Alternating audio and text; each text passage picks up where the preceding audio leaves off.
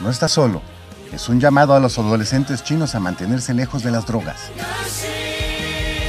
No es cualquier solicitud.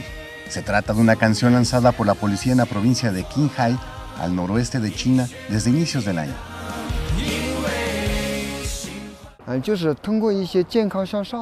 Me parece que esta canción es del gusto de los jóvenes.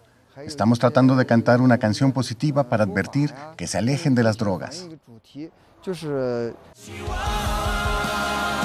El ritmo de la canción y el que los propios agentes policiales la interpreten y actúen en un video ha hecho muy popular esta pieza musical entre los adolescentes, con quienes la rápida distribución de drogas está generando todo tipo de problemas.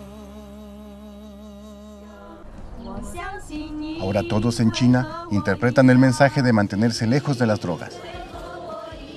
Con información de la oficina en Qinghai, China, Noticias Xinhua.